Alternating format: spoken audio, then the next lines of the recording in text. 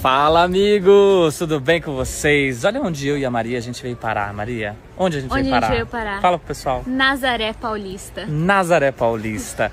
A gente, na verdade, vai se hospedar aqui numa pousada que a gente já veio algum tempo atrás. Só que antes de ir lá pra pousada, a gente parou aqui na bem na Praça da Matriz, porque tá tendo um evento toda quarta-feira aqui. Ainda vai ter nessa quarta-feira hoje e também na próxima quarta-feira.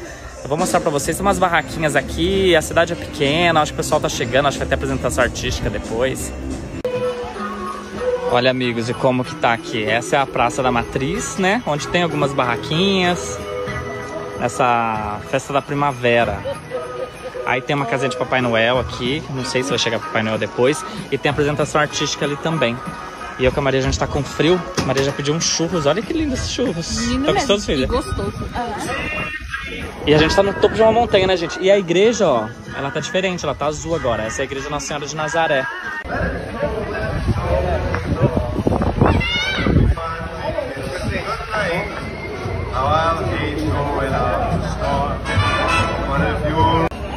Olha aí, amigos. E aqui tem uma árvore de Natal, tá apagada. Eu acho que eles estão tentando consertar ali, ó. Porque tem um presépio também, tem uma casa de Papai Noel que não abriu. E eu com a Maria a gente vai pra pousada agora, porque tá muito frio aqui. Mas pra quem quiser, essa essa festinha aqui, Primavera na Praça, até falei errado, falei festa primavera, mas é Primavera na Praça, vai ficar aqui é, na vai ter de novo na quarta-feira da semana que vem, dia 21, que daí vai ser o último dia. Tava acontecendo todas as quartas-feiras. Bom dia, meus amigos, tudo bem com vocês? Já manda aquele coração de bom dia, ou manda bom dia, ou manda boa tarde, ou manda boa noite. Olha onde eu tô, gente. Eu tô numa pousada aqui em Nazaré Paulista. Agora eu dormi, acordei. Vou mostrar pra vocês agora de dia, né? Porque ontem à noite não dava.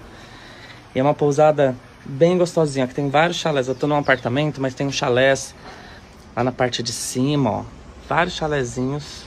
Comidinha caseira. Ó, tem uma piscina ali. Eu vou tomar café da manhã agora. Eu vou mostrar pra vocês.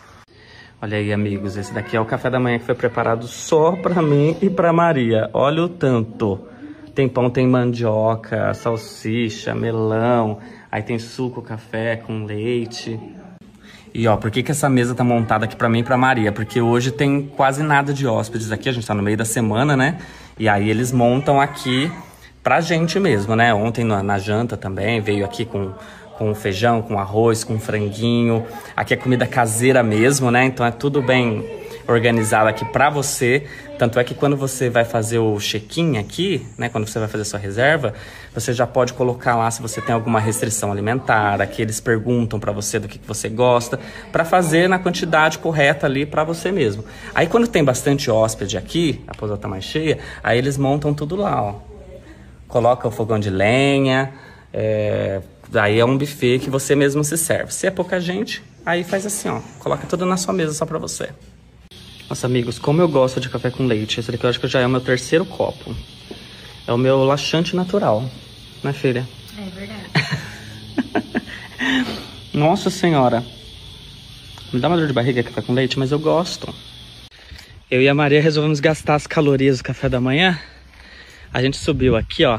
Daqui dá pra ver a pousada de cima. A gente subiu essas escadas todas aqui pra vir no mirante, ó. Lá tem vários chalé, tem uns chalézinhos lá. Aqui é o apartamento que a gente tá. Aí tem um Cristo aqui, ó. E olha a vista para as montanhas aqui de Nazaré. Ó, aqui nessa parte de cima eles montaram também um tipo um jardim, né, para as crianças pequenas. Tem os quem que são esses aqui mesmo, Maria? Sete, Sete anões. anões. Sete anões e a Cinder... Branca de Neve. Com a bruxa. Lá no fundo tem os três porquinhos. Olha os três porquinhos. Será que a gente consegue entrar? Aqui, ó, tem os três porquinhos e o lobo mal. Aqui é o Pluto, Pateta e Mickey e Minnie. Vamos ver se a gente tá bem, Maria de Anão. Esse é o. Mestre. Me- Ah, mas tá escrito. Zangado, dengoso, branca, feliz, dunga, zangado, aquele ali deve ser, né? Soneca e a Soneca e o Atim. Ah lá, e aqui, da outra vez que a gente veio não tinha, né, filho? Eles fizeram uns brinquedinhos. Gente, o pessoal aqui da pousada, eles são super simples. mas muito dedicado, sabe? Aqui é aquela hospedagem simples, mas que você vê que eles têm um carinho, né, em tratar bem o hóspede, seja com a comida, seja com a atenção, né, lá na cozinha, a cozinha ela é aberta justamente para você bater papo. Eu tava conversando agora há pouco lá com a, com a moça que faz o café. Olha Maria, pode subir ali, não vai descer não, ele é preso. Maria Tratoreira. Ó, aqui na pousada tem bastante escada. Tá vendo? Pro chalés tudo. Então, se você tem alguma mobilidade reduzida, alguma coisa assim, aí a dica é ficar lá no apartamento que eu e a Maria estamos. Porque lá é rampa e fica mais baixo, né? Agora, se você não tem esse problema, você pode ficar nesses chalés aqui que inclusive, ó, eles são mais privativos, né? Olha aí, ó. Chegando perto de um aqui. Tem outro aqui do lado. E aí tem esse aqui também, ó. Ó, esse caminho aqui é o do apartamento, ó. O apartamento é com rampinha. Aí vai do gosto de cada um, né, gente? A acomodação do apartamento, inclusive, ela é maior, que é onde cabe mais gente, né? Vou mostrar pra vocês. Vai estar tá uma baguncinha aqui, minha da Maria, né? Ó, aí tem a cama de casal, tem duas de... Uma beliche, outra beliche. E aqui também tem uma varandinha, ó. A varandinha. Com uma rede. E aqui foi onde eu dei o bom dia pra vocês. Aqui a gente chegou na, nas piscininhas, ó. Essa daqui é uma piscina infantil, ela é bem rasinha. O pessoal ali tá, tá limpando a piscina. E aí aqui... Aqui já é pra adulto, é tipo uma raia, né? Mais funda, que dá pra você ir nadando assim, ó. Aí eu com a Maria, a gente tá ali naquele deck, ó. A rua passa ali atrás. Gente, mas aqui é muito tranquilinho. E eles têm day use, viu?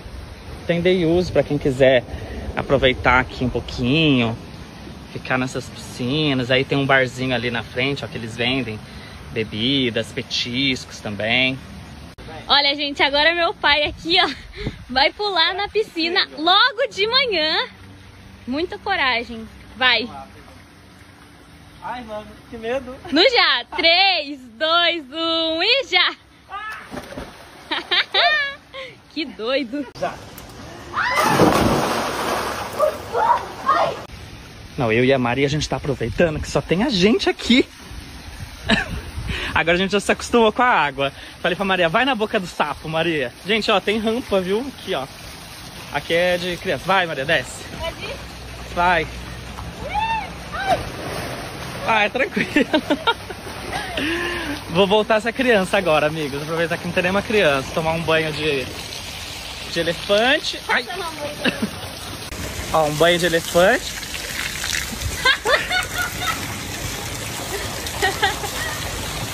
o cogumelo. O que, que é isso? É o cogumelo do Mario. Cogumelo. Olha o tamanho do meu cabelo. Gente, olha o meu cabelo. Olha o tamanho desse cabelo, filha. Meu Deus. Você tem esse movimento capilar? Cabelau? Cabelau. Você tem? Eu não. No golfinho. Vem no golfinho, filha. Esse golfinho parece que tá cuspindo na gente, ó. O golfinho. Vai, vai. Vai no pelicano, filha. Desce nesse pelicano. Olha. Esse pelicano é radical, hein? Radical para as crianças que têm até 5 anos. É, Deve ser radical para quem tem até 5 anos. Não sei se pra você vai ser também. Nossa, eu acostumei com a água agora, super. Muito radical. Ó, gente, agora meu pai vai descer na boca do sapo, só que ele tinha falado assim, Maria, eu vou descer, mas se isso quebrar, você que vai pagar. Vai logo! Vai rápido! Olha lá, vamos ver. Vai logo!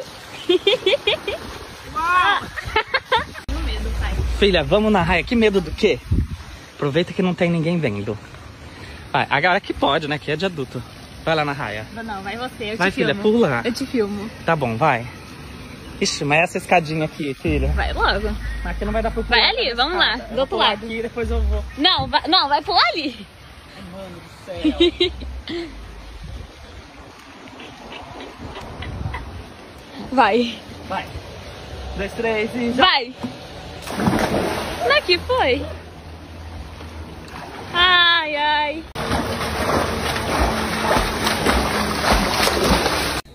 Meus amigos, agora bem aqui do lado da pousada do Duduca tem uma cervejaria que chama Rusticana, que ela é bem conhecida aqui em Nazaré Paulista. A gente tá pertinho de Guarulhos, né? Porque a pousada também fica pertinho aqui do aeroporto de Guarulhos. Você que é da Grande São Paulo, Guarulhos fica perto para vir para cá. Eu vou mostrar para vocês que eu já tô tendo uma aula aqui. Ó, a gente chegou aqui, o Duduca tá lá conversando, o Duduca é o dono da pousada, um amor de pessoa conversando lá com o dono. Aí, né, Maria, já tava explicando aqui pra gente, isso daqui são os, é, o, os grãos, né, que faz a cerveja. Aí tem esse que é mais torradinho, aí tem um outro, a gente até experimentou um que pode comer, viu? Qual que a gente comeu, filha? Os dois, eu comi os Experimenta. A Maria comeu, tem gosto de quê, filha? Vai de novo. Ele fica levemente torrado, né? É Uhum. tipo um amendoim, gente, só que sem sal, né? Não sei porquê, mas pra mim lembra algodão doce. Algodão. Nossa, Não tô brincando, é sério. aqui tem as torneirinhas, depois a gente vai experimentar, eu acho. E aí ali, ó, ele fica explicando tudo. E ó, e aqui é um lugar que dá pra você vir visitar, só que tem que fazer o agendamento com eles, porque eles não ficam abertos o tempo todo, né? E quando você fica na pousada do Duduca, por exemplo, se tem bastante hóspede lá, ele já marca de trazer todo mundo pra cá. E ele mesmo faz a ligação, aí traz o grupo pra conhecer toda a produção, ó. Aqui filmam esses tanques. E aí ele vai explicando tudo pra gente. Ó, e eu tô sentindo o cheiro aqui do lúpulo original mesmo. Tava na geladeira. E ele tem o cheiro da cerveja forte. É um cheiro muito gostoso, dá até sede. Aí o Duduca aqui resolveu comer um. E aí, Duduca? É amargo, olha a cara. E olha o que eu vou tomar aqui, ó. É melhor na, é melhor na cerveja pronta, É né? melhor, bem melhor. É bem melhor. Olha que diferente isso daqui, amigos. É uma Weiss, uma cerveja, né? Com sabor de goiaba. Vocês já viram isso? Olha que diferença. Que diferença não, que diferente, né? Colocaram o nome dela de cascão. Ó, essa daqui já tá acabando. Eu experimentei a de goiaba, que é uma delícia. Essa daqui o Cosmo falou pra gente que é tipo um champanhe, né, Cosmo? De jabuticaba. Olha que diferente, vai experimentar. E o Duduca tá experimentando uma de cacau. Tem gosto de chocolate? Tem. Tem? E a amarguinha é boa. Lembra? Amigos, e ó, essa champanhe aqui de jabuticaba, ela é meio azedinha. Ele tava explicando aqui, porque não é feito só com a polpa da jabuticaba, é a casca também. Lembra que eu gravei um vídeo aqui falando pra vocês que eu adorava comer casca de jabuticaba?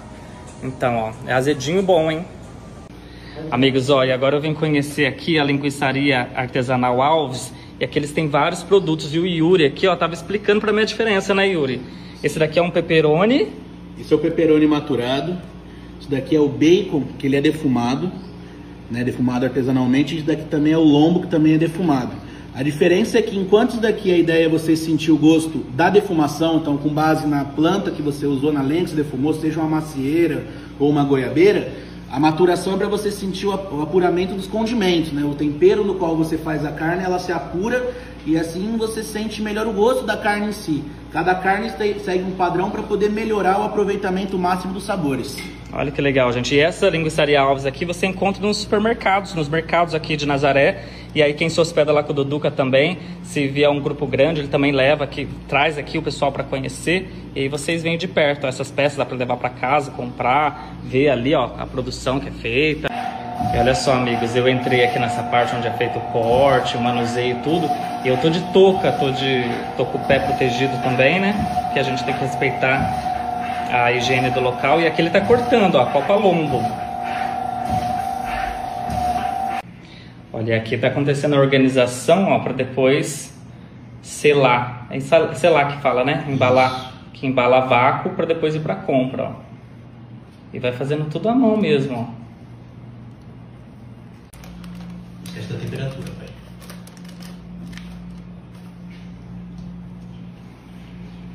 Pode ver.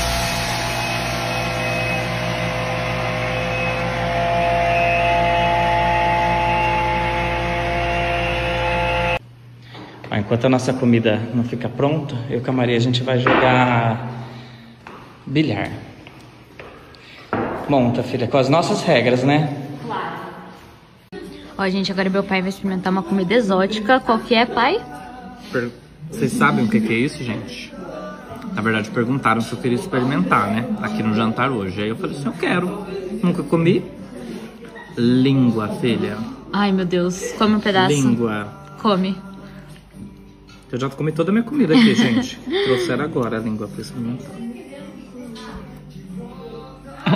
Vai logo. E aí? Tem gosto do quê?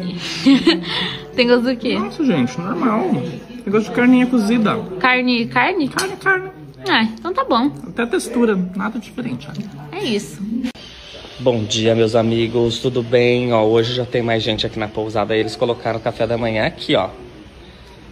Olha só quanta delícia. Lembrando que aqui tem café da manhã colonial nos domingos, viu? Aí coloca até mais coisa aqui, aberto pro público também. Eu e a Maria a gente já vai se alimentar. E olha o que eu vi aqui também.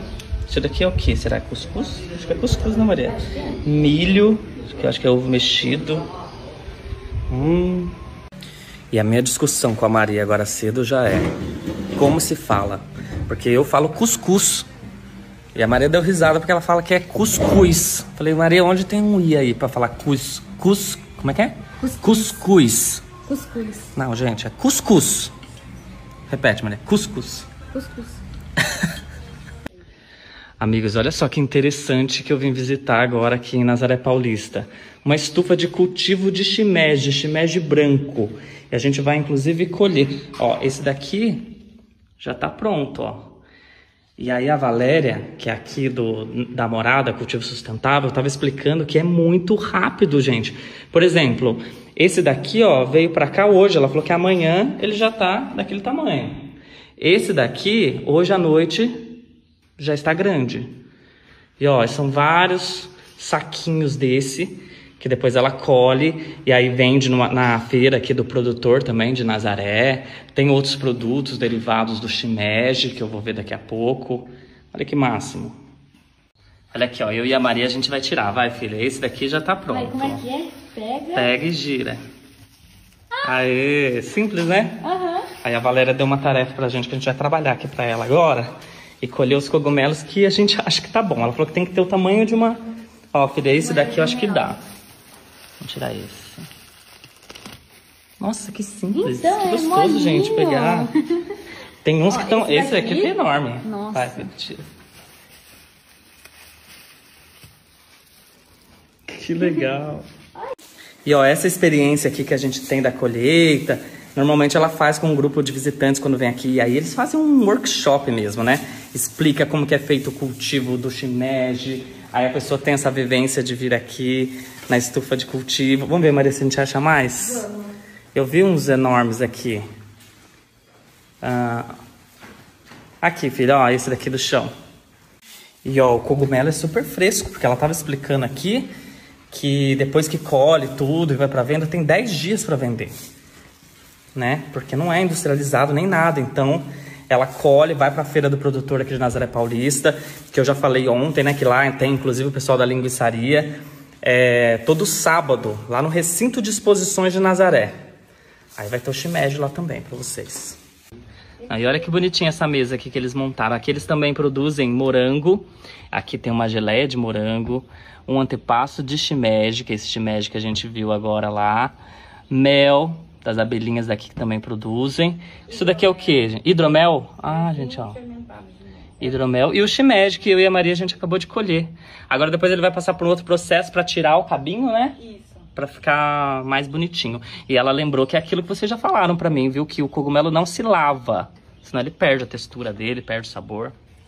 Gente, e a Valéria, que é a proprietária que cuida de tudo aqui, ela tava explicando uma receita de shimeji. Fala pra gente, Valéria, como que você faz? Basicamente, você tem que aquecer muito bem uma panela. Aquece muito bem uma panela sem gordura. Coloca o shimeji lá dentro e salteia ele devagar. Não fica mexendo muito para ele dar uma tostadinha. Depois você simplesmente põe um pouquinho de azeite, coloca sal, pimenta e ervas a seu gosto e tá pronto. E é super rápido, né? O preparo é rápido, gente. Nada de ficar deixando lá o shimeji de molho, né? Não. Nada disso. Não, muito rápido. Olha, amigos, agora a gente veio aqui na Cachaçaria Alfa. Cachaçaria artesanal aqui em Nazaré Paulista. Já tive ali uma explicação de como que produz as cachaças. E olha só, tudo feito aqui mesmo. E olha os preços dessa daqui. Tem pequenininha também. Aí tem as mais novinhas, né, de seis meses, depois quatro anos, doze, ó. E esses licores, então? Falaram que esse de maracujá é o que mais sai. E ó, e é fruta mesmo, viu? Não é aroma, essência, nada disso. É tudo fruta mesmo. Aí tem de paçoca, tem de coco. Olha que diferença esse de coco. Tem até o coco dentro da garrafa. E aqui, ó, eu vim com o Duduca, né? Que o Duduca, ele conhece todos os produtores aqui de Nazaré. E nessa cachaçaria, eles também servem porções, olha. Eles ficam abertos sempre. Então, e olha aqui. Rã. Eles têm uma plantação, uma plantação, eles têm uma criação de rã aqui também. Olha a causa do gritinho da Maria. Esse dogzinho aqui, ô meu amigo, tudo bem com você? Que eu quase pisei, quase pisei em você, meu filho. Você quer aparecer aqui? Hum? Hum? Ó, vou provar esse daqui de maracujá. Que é o que eles mais vendem. E o teor alcoólico é quanto? 6, 8% por aí, né? 6, 8%, gente. É fraquinho. Hum. Nossa, é bom mesmo. Muito bom.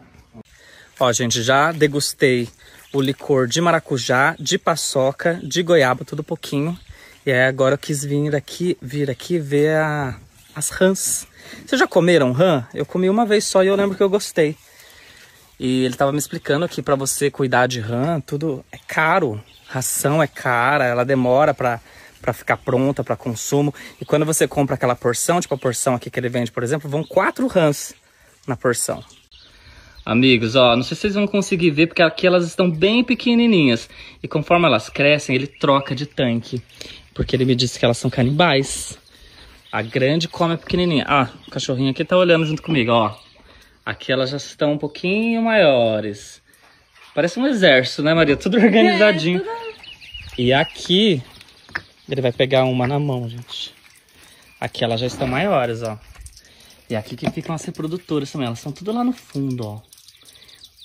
E sabe o que, que ele tava me explicando? Que... Ah, agora elas estão pulando Eita, todas ali, ó. Ai, meu Deus. Ele estava me explicando que a rã, pro abate dela, tem que ter mais ou menos 250 gramas, por aí. E praticamente metade do peso dela não vai servir para nada, que são vísceras, né? Que na hora que vai limpar toda a rã. Então, assim, por isso que rã é um prato caro. Porque ela demora, para cuidar dela é difícil, a ração é cara e também não se aproveita quase nada. Eu não sabia disso, gente. Uma porção de rã são quatro rãs. Ela vai pular aqui, Maria.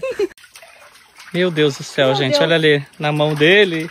Olha, eu nunca tinha visto a pata da rã, filha. Parece uma pata de, de pé de Parece peixe. sereia, sei lá. Deixa eu ver. Nossa, segura firme Meu isso daí. Deus. Misericórdia. O que faz é... Gente, essa Academia. daí já... Essas já estão prontas para o abate, né? Isso. Ou não? Aqui são... É, deixa eu ver aqui. Ou tem é, que engordar dois, mais? Dois machos aqui. Dois machos, gente. O macho ele tem o papo amarelo e aqui é o ouvido, ó. Ele, a bolinha do ouvido é maior do que o olho, tá vendo? Fêmea... Mas deixa eu ver, Esse, esses daí não solta nada? Tipo, o pessoal não fala não, que... Não, o sapo ele tem uma glândula aqui do lado, uhum. que ele, quando você começa a mexer com ele ali, ele incha e solta um leite, que diz que é venenoso. Uhum. E, e, a rã não. A defesa dela é, é comer mesmo, é, é tudo que se mexe ela vai dar o bote para comer. Mas ela e se for gente... com pessoa, se por exemplo, é que você tá segurando ela de um jeito que ela não, não te morde, mas se não, deixar ela morde? Não, não, não faz não? nada. Ah, é boazinha. É. Amigos, olha que curioso isso. Como que é, amiga? Ela tem duas camadas isso, de olho. Pra quando ela mergulha, ela serve... Tá e eu achando que o olho era esse buracão aqui, ó. Esse, parece tipo um olho falso, né? Essa aqui tá com mais ou menos 800 gramas. Esse aqui. Nossa, essa já é tá é demais já. Produtor. Ai, amigos, ó, uma pena que eu não vou poder mostrar pra vocês a porção de rã pronta. Que eles até... A gente até ia comer, só que a gente tá com o tempo um pouco curto. Mas se você gosta de rã e quer comer, ó, já tem um lugar aqui em Nazaré Paulista. Fica, ele falou que fica uns 3 km da Dom Pedro. Eu não sei direito porque eu vim com o Duduca. Mas é uns 3 km só da Dom Pedro. E você pode vir aqui, tem outras porções também, né? De tilápia. E você pode degustar cachaça, comprar cachaça também, comer rã, comer peixe. Enfim, é uma dica aí. Ó, tô marcando também o perfil deles aqui. Ó, meus amigos, aqui em Nazaré também tem uma prainha que o pessoal vem, sabe, para nadar na represa. Mas é perigoso, né? E agora não tem quase ninguém porque é sexta-feira, né? Normalmente no sábado, domingo. Aí o pessoal vem. Tem até umas barraquinhas que fica aqui vendendo as coisas. E vem muita gente de fora para entrar aqui na água da represa. A gente ia fazer um passeio de barco, mas eu tive que cancelar. A gente teve que cancelar, na verdade, por falta de agenda e de tempo, mas eu já fiz um passeio de barco, não, de lancha, aqui pela represa e passar por baixo da Dom Pedro também, também é bem legal. Quando vocês vierem assim para Nazaré, procurem que vocês também conseguem fazer passeio de lancha. O carnaval passa por aqui. Passa por aqui. Carnavalzão aqui, como som daqui. Olha, amigos, estou gravando aqui para vocês as ruas de Nazaré Paulista. E o Dudu tava falando que o carnaval aqui é muito forte. O pessoal sobe as ladeiras. Marchinha, né, Dudu? Marchinha. Muitas marchinhas. Prefeitura nossa lá direita, olha que prédio bonito. Cadê a prefeitura? a prefeitura aqui, ó. Bonito. Tem muitos casarões históricos, né? Essa daqui também, fachada histórica da caixa. Olha que loja bonita. Olha que graça. Olha que linda mesmo. E é uma, ó, é tipo um mini shopping, uma galeria. Olha outro casarão aqui. E aqui funciona o que, Duduca? Aqui era uma pensão, né? Um ah, casarão. é só uma fachada é lá. só fachada. Não tem nada 1917. lá 1917. O pessoal dá pra tirar foto e tal. Que legal. É a praça. E aqui é a praça que eu mostrei pra vocês à noite. A praça tá lá em cima. É, Aí, amigos, a praça que tá com a decoração de Natal, com a igreja de Nossa Senhora de Nazaré. Tá toda revitalizada também, né, Dudu? Que é de azul agora. Isso, mano. E é uma igreja histórica que tá bem no topo da cidade. Ah, a gente vai embora daqui a pouco. Não deu nem tempo de relaxar aqui nessa, nesse redáriozinho deles. Na verdade, ontem a gente deitou um pouco, né, filha? Olha que mata. Bora almoçar, filha. E olha a comidinha que prepararam aqui pra gente hoje. Arrozinho, feijão, macarrão. Tem uma carninha aqui. Bisteca, farofa. As saladinhas aqui pra gente se despedir. Maria aqui tomando a sua Fanta Uva. Quer mostrar pra mim o boletim dela que acabou de chegar, a última, agorinha, agorinha, né, filha? Na verdade, faz dois dias. Você só viu agora? Mas não, você tava reclamando desde. Mas você tava reclamando que não tinha mandado o boletim? Não tinha mesmo, mas tipo assim, dia 13 mandaram. E aí? aí conta mostrando. pra todo mundo agora. Assim, ficou o final. 9996 10 969 960 86 10 10. Que orgulho. Aí teve uma professora que fez o quê?